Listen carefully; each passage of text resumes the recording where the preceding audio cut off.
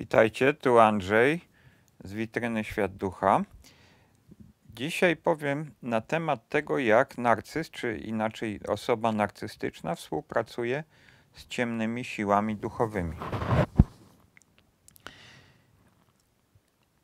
Zwykle jest osoba narcystyczna rozpatrywana jako postać pojedyncza, zwłaszcza przez psychologów, przez psychoterapeutów, ludzie, którzy się z, kontaktują z nimi, z narcyzem, no to widzą w nim jedną osobę. Tam trudno jest tak zwykłemu człowiekowi mieć wgląd duchowy. I dlatego, że yy, dlatego też yy, opis osoby narcystycznej właśnie jest w ten sposób przedstawiany, że to on jest. Ja to opiszę najpierw, a później dodam coś od siebie, dodam od głębi duchowej, że jest to jednak stan, który no na przykład yy, brak tutaj przekazu w tradycji duchowej Y, w tym obszarze i na przykład Kościół chrześcijański jest zupełnie niezorientowany na ten temat, no i nie, nie naucza. No i opi opiszę to w taki sposób. Zacznijmy od tego, że psychologia jest to nauka redukcjonistyczna, czyli nie rości sobie prawa do tego, żeby jakieś wnioski wyciągać co do obszarów duchowych. I dlatego mówi, że osoba narcystyczna jest to postać pojedyncza. Jeżeli ma kłopot, to ma zaburzenie osobowości.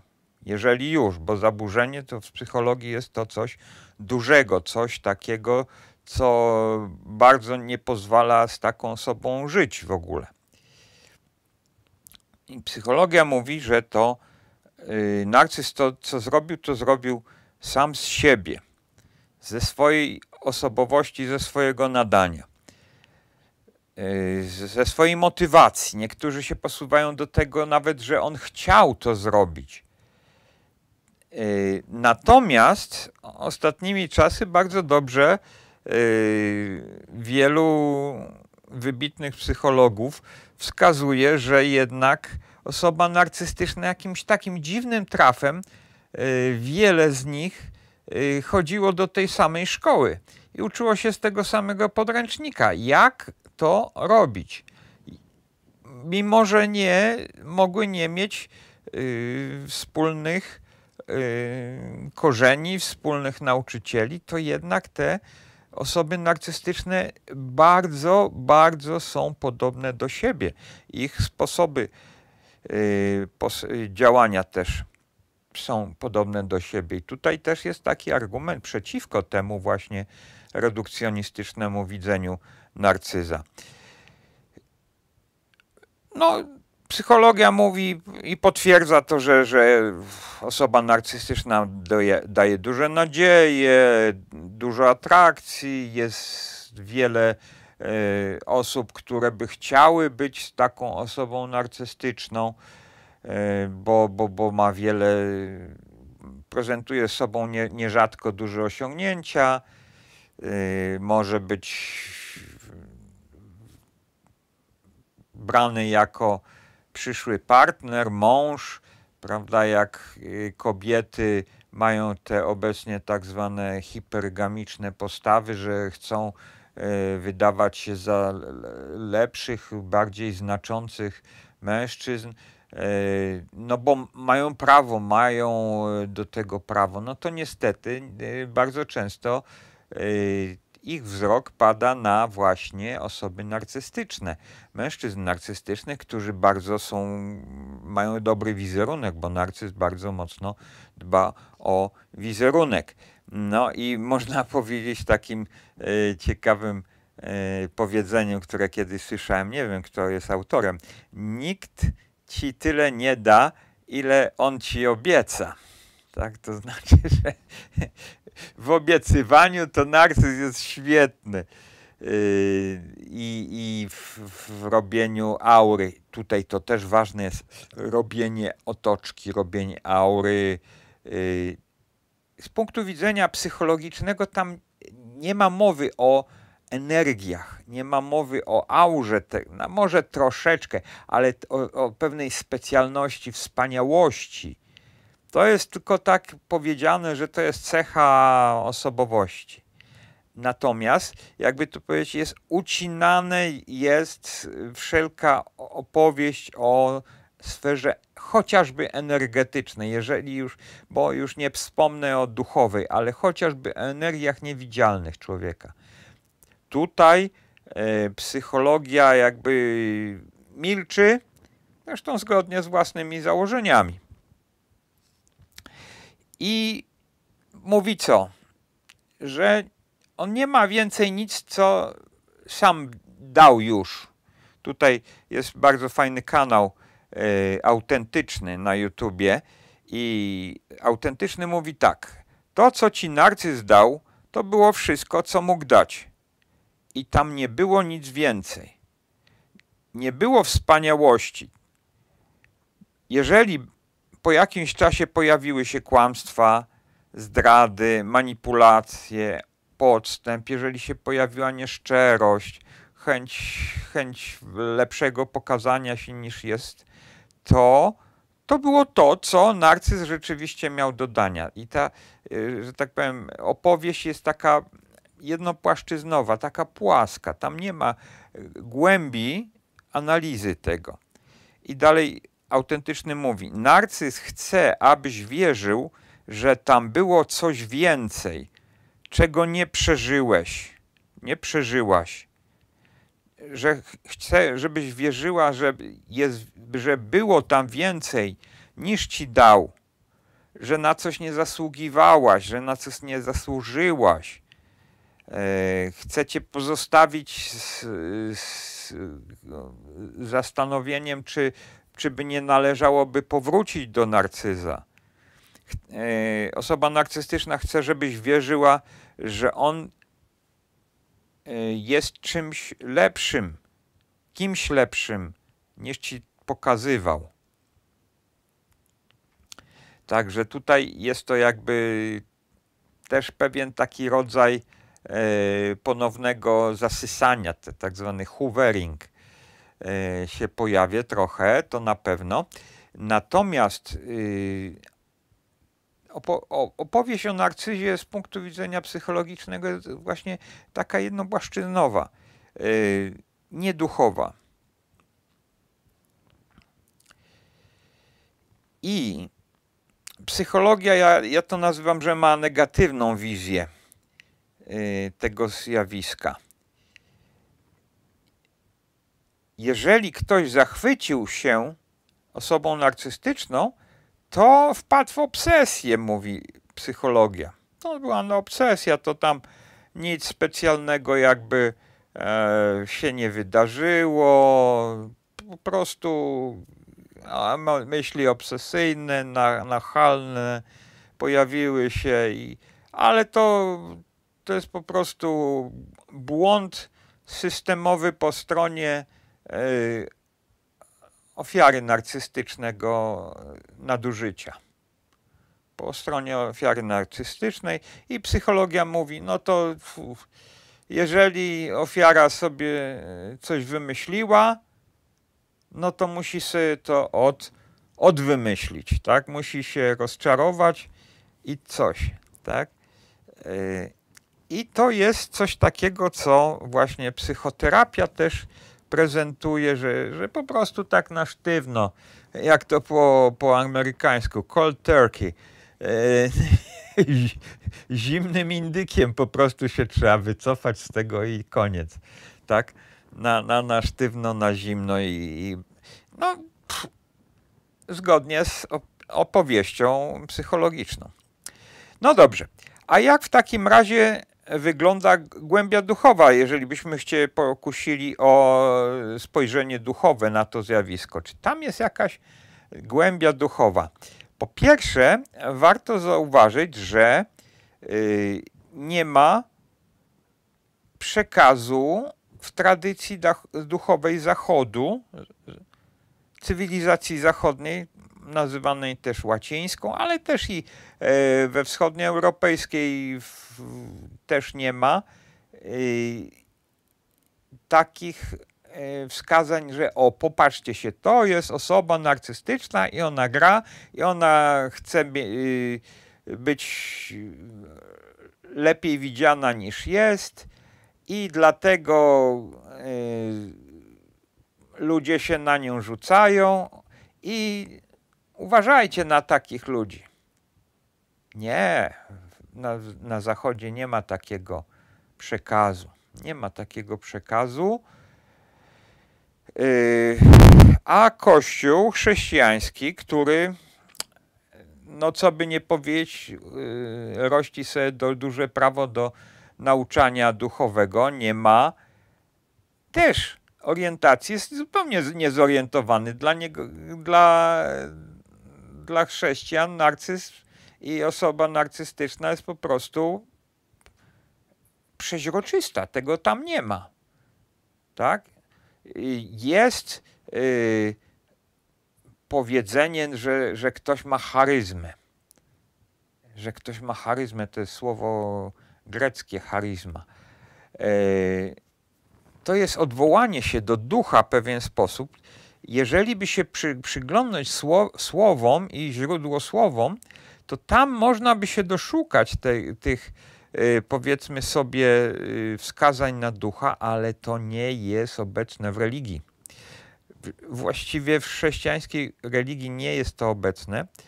Y, wręcz można powiedzieć, że nauczanie o nowym, Nowego Testamentu nie jest, jakby to powiedzieć, zgodne z y, tymi pierwotnymi znaczeniami. Chociażby jest w Nowym Testamencie użyte słowo archont czy archonci 42 razy.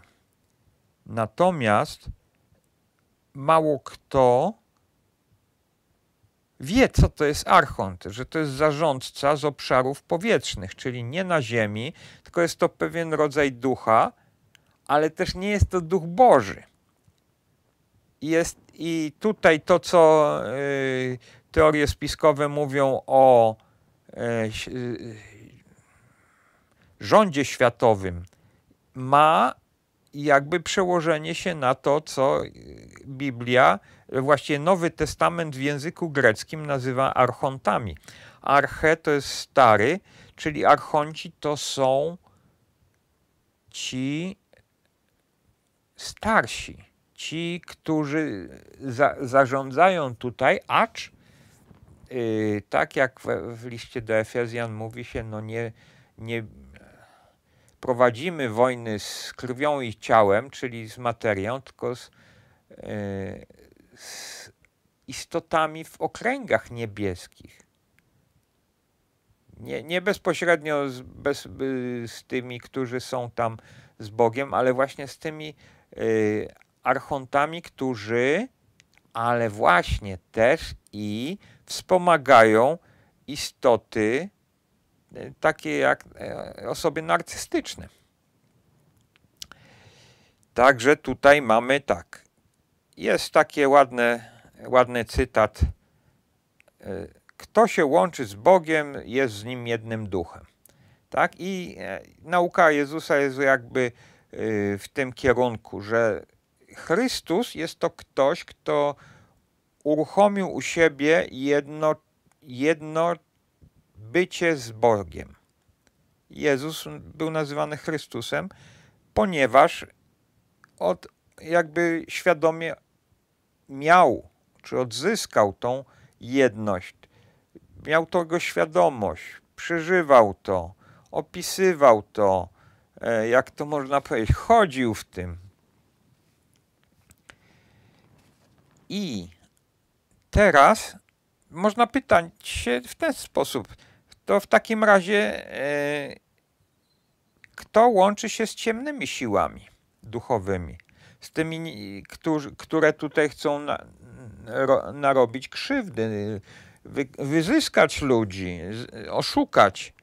No, chociażby właśnie osoby narcystyczne się łączą. I wtedy można powiedzieć, że yy, kto się łączy z ciemnymi, jest z nim jednym duchem. Tutaj yy, w 2014 roku na mojej witrynie yy, Świat Ducha opublikowałem taki artykuł, yy, w którym właściwie jest to jakby skrót artykułu czyjegoś, które się nazywa Tantra, Mysz i Sai Baba. I opisana jest y, pewna podróż pewnego, y, co ciekawe, y, później się okazało właśnie wielbiciela Kryszny, który chodził po Indiach i, i zbierał sobie na doświadczenia którym ruchu religijnym, duchowym chciałby być. No i był tam właśnie też i u tantryków, i u Saibaby był. I okazało się, że, e, no przynajmniej dla mnie się okazało, że w Indiach e, jest oczywiście bardzo dużo bóstw. I te bóstwa mają swoje świątynie. I e, co ciekawe, wielbiciele owych bóstw w pewnych momentach są też i w jakiś tam sposób połączeni z tymi bóstwami, łączą się z tymi bóstwami, przepraszam, i są nawiedzeni przez te bóstwa i te bóstwa przez nie mówią, przez nie wypowiadają się, y, wręcz można powiedzieć, że opętują tych y, wyznawców. I co ciekawe, tam w tym, w Indiach, e, w społeczeństwie jest to bardzo szanowane. Bardzo szanowane. Taka osoba, który, która została opętana przez bóstwo, czyli inaczej półboga, czyli inaczej Anunnaka, e, czyli inaczej Archonta, to taka osoba jest bardzo szanowana właśnie w obrębie tej świątyni, w obrębie tych wyznawców. No, to jest takie odniesienie, prawda? Ciekawe. I tutaj mamy jakby powrót do osoby narcystycznej z innej perspektywy, że taka osoba jest też nawiedzona od ciemnych sił duchowych.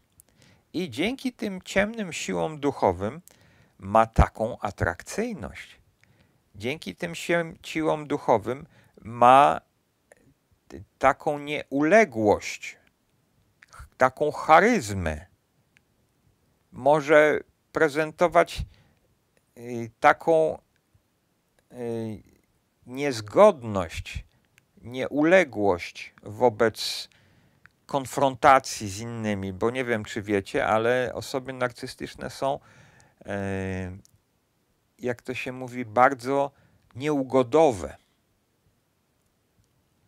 To znaczy, że jeżeli my myślimy tak jak narcyz i się z nim zgadzamy, no to jest wszystko świetnie, jest masełko, miodzio i w ogóle wszystko jest luks ale jeżeli byśmy chcieli coś skonfrontować, jeżeli byśmy chcieli coś po powiedzieć owemu narcyzowi, że e, my się nie zgadzamy, że a tutaj może, może się pomyliłeś czymś, to, to on to nie, niemożliwe, żeby to przyjął. To, to jest właśnie bardzo często podkreślane przez e, psychoterapeutów, że e, narcyz nie jest skłonny do tego, żeby brać odpowiedzialność za własne czyny, za własne y, obietnice, za własne y, wypowiedzi. Będzie kręcił przed sądem, będzie, będzie udawał głupiego. Mówi, no ja to, on się sam prosił, żebym to zrobił. To nie moja wina jest, to on, to on. I to właśnie jest tak, że y, jest to taki wyraz właśnie te, te, tego, tej pewności, ale nadludzkiej. To jest właśnie, jeżeli znacie kogoś, yy, kto ma cechy narcystyczne, zobaczcie, że tam wchodzi w obszar energii ziemskich energia nadludzka. Nadludzka. Wiele z takich osób określa się, że oni mają charyzmę, że oni, y, oni są y, bardzo poważani, tacy, tacy właśnie ludzie.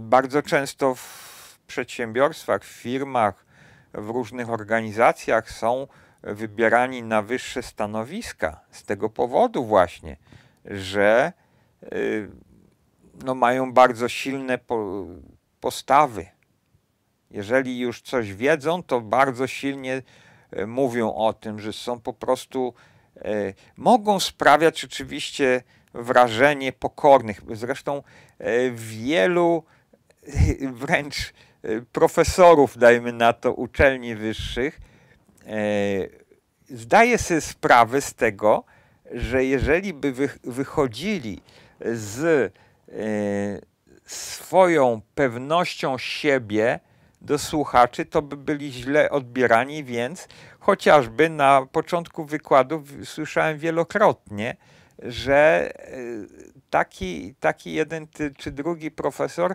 stosuje taki e,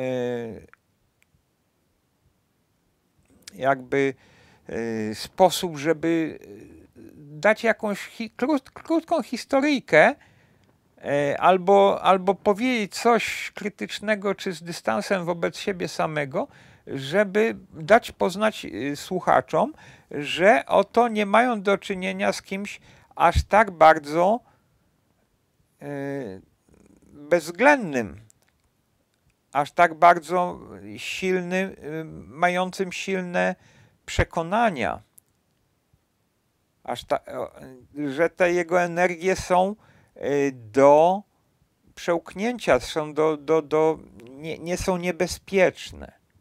Tak? I w tym momencie taka y, zagrana y, pokora, w ogóle pokora sama z siebie bardzo jest dobrze odbierana u ludzi, ponieważ świadczy o kontrolowaniu się, o posiadaniu dystansu do siebie. Natomiast Y, można ją zagrać i wiele ludzi da się na to nabrać. Na udawaną pokorę. Ja nie mówię, że to jest coś od razu złego czy coś tam, tak? Chodzi o to, że to się wydarza i za tym stoi bardzo potężna osobowość, która jest bardzo potężnie wspierana przez e, energie nadludzkie, półboskie wręcz. Także tutaj wiecie, to jest obszar już, w którym opowiadamy sobie o tym, że za osobą narcystyczną tam ktoś jeszcze jest, że to nie jest jedno poziomowe wytłumaczenie, że jest tam ileś poziomów. Several layers. Dwie istoty jako osoba narcystyczna. I w tym momencie my możemy postrzegać osobę narcystyczną, że to nie tylko on jest, że tam jest jeszcze pewna siła, która tutaj chce wejść do, na świat, że chce zabrać zasilanie narcystyczne. Po to narcyz robi te wszystkie sztuczki, żeby najeść się energii a tak naprawdę, żeby w dużej części odprowadzić tę energię właśnie do swojego opiekuna duchowego ciemnego. I teraz narcyz jawny, inaczej mówiąc wielkościowy, który jest bardzo potężny często, e, jest związany z ciemnymi siłami duchowymi, z ciemnymi półbogami. A narcyz ukryty jest inaczej nazywany wrażliwym, jest związany z siłami białego. I ja tutaj e, te dwie strony opisuję na, swoim, e, na swojej witrynie, na swoim blogu już od, od wielu lat i e, te siły ciemności można konkretnie wyznaczyć na, na biometrze za pomocą wahadełkowania i tam są nazywane to jako krokodyle, inaczej symbionty. Można też dopatrzeć się, że nie, niektóre osoby, y, które nie chcą mieć aż tak y, potężnego wsparcia, które nie chcą mieć aż tak twardego wsparcia, y, decydują się na wsparcie z siłami ciemności pod, pod nazwą ciemnych wzorców. To znaczy, taka osoba jest jakby w duszy swojej przekonana, że czasami może oszukać, Czasami może skłamać, czasami może e, zrobić coś tam wbrew komuś i to nic, nic, nic złego nie jest, tak? I po prostu ma takie jakby e, nieustaloną relację z moralnością, można powiedzieć, tak? Taka, no nie do końca nie do końca moralna osoba, która może być przyjemna, przyjazna w otoczeniu, życzliwości itd. Tak itd. Tak y, tutaj war, warto wspomnieć, że serdeczność, życzliwość i kultura osobista, którą możemy obserwować u narcyzów, nie, nie musi świadczyć o tym, że to jest dobry człowiek. Nie musi.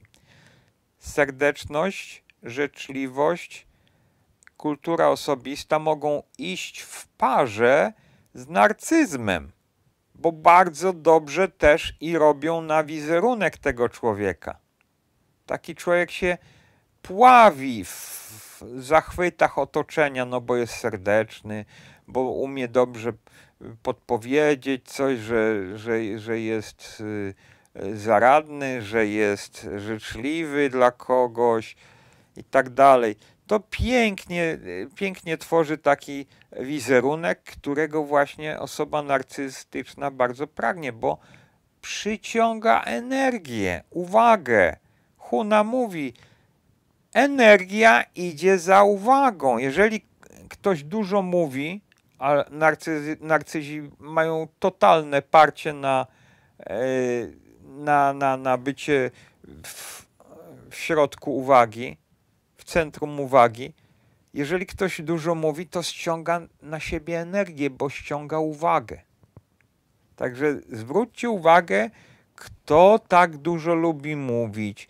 Niekoniecznie musi, musi mówić tylko o sobie, chociaż lubi mówić o sobie, o swoich przeżyciach, doświadczeniach. Natomiast najważniejsze jest to, żeby uwaga szła. Uwaga, uwaga. Zobacz mnie, ja jestem tutaj ważny, tak? I tam idzie od razu energia za tym. Dobrze. Tutaj już tego siły białego, to sobie możecie poczytać na moim blogu, to tam jest dosyć dużo, to o tym piszę.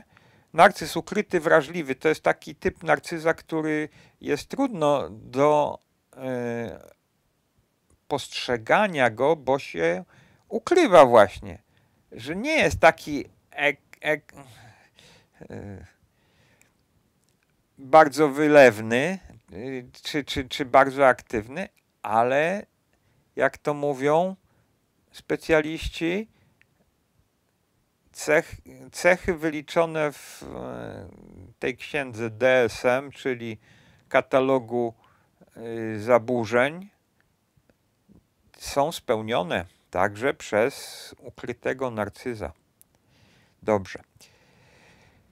Ciemna istota, która jest za narcyzem, zbiera żniwo. I tak może żniwa różne zbierać. Najpierw może zbierać żniwa zachwytu, y, pozytywnej energii, życzliwości, przyjaźni i tak. Jeżeli jesteśmy po stronie narcyza, i to, to wtedy narcyz się po prostu cieszy, tamten ten jego opiekun ciemny też się cieszy, no bo e, jak to gdzieś czytałem w, e, o, o, o religiach, że, że te ciemne siły, te, te, te, ci opiekunowie no, o wiele bardziej chcą mieć energię wychwalania, radości, wspaniałości.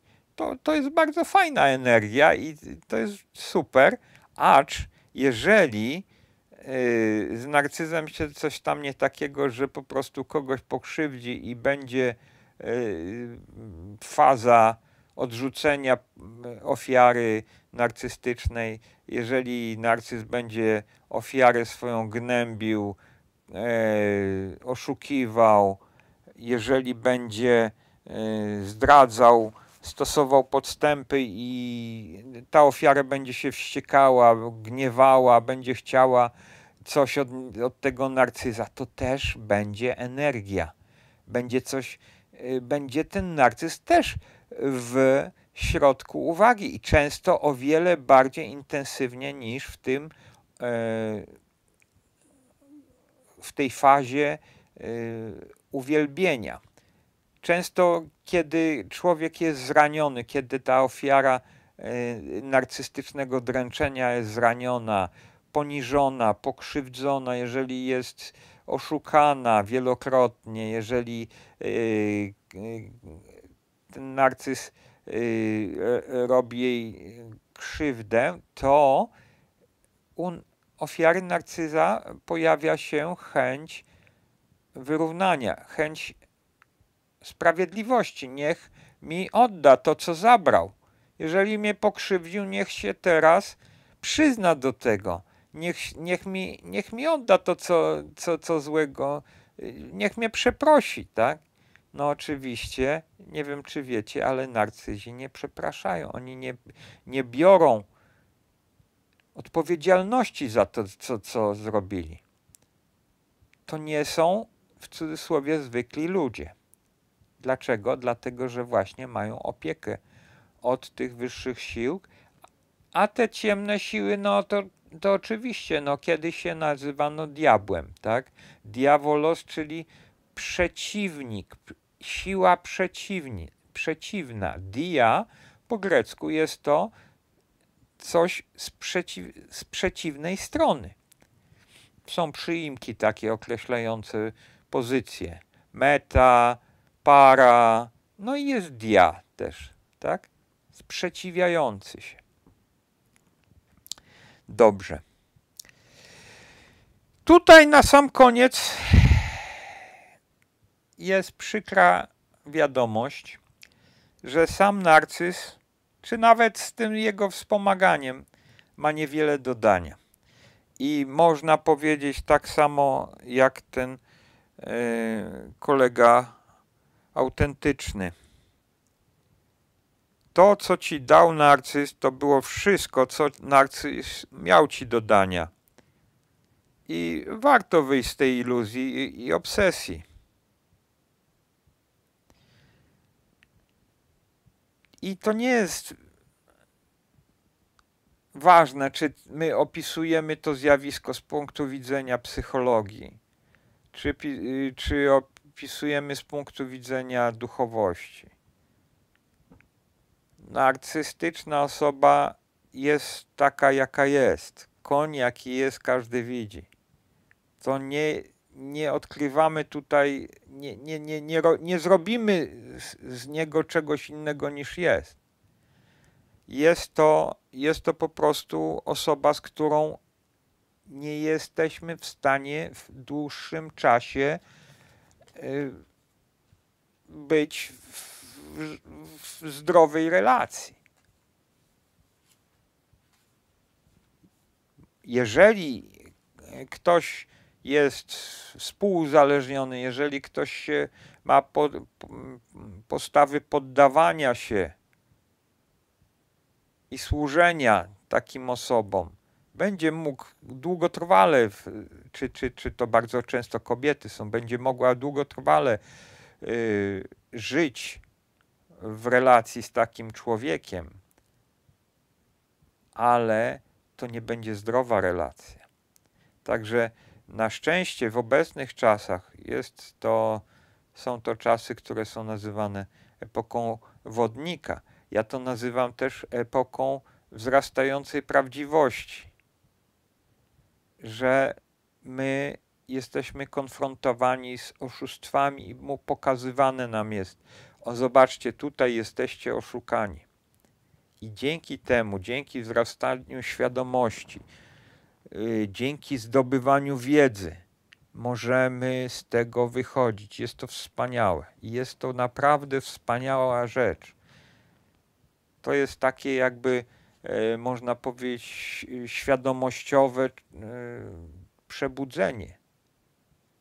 Naprawdę to, to jest coś bardzo, bardzo cennego. Możecie sobie zobaczyć że no chociażby e, liczba, liczba filmów na YouTubie, na których jest y, powiedziane coś na temat właśnie y, zaburzeń narcystycznych, ofiar, y, dla ofiar, uświadamianie, porady do tego, jak się uwalniać.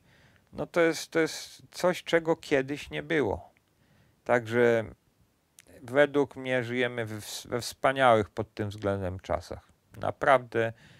I powiem Wam, e, mimo tego, że narcyz współpracuje sobie z tymi siłami ciemnymi, to jednak, tak jak w fizyce kwantowej, świadomość robi różnicę. Jeżeli jesteśmy świadomi, mamy szansę nie wejść w te kłopotliwe związki. Za sprawą samej świadomości, już sama świadomość zacznie pracować i później się będziemy po prostu działać sobie e, z tymi obszarami, w których mamy kłopoty i będziemy w stanie wyjść z tego. Będziemy w stanie z tego wyjść. Także powiem Wam bardzo dla mnie osobiście cenne i przesłanie i bardzo optymistyczne przesłanie. No i z takim optymizmem e, zapraszam Was również na moją własną witrynę Świat Ducha. E, życzę wszystkiego dobrego i pozdrawiam. Cześć.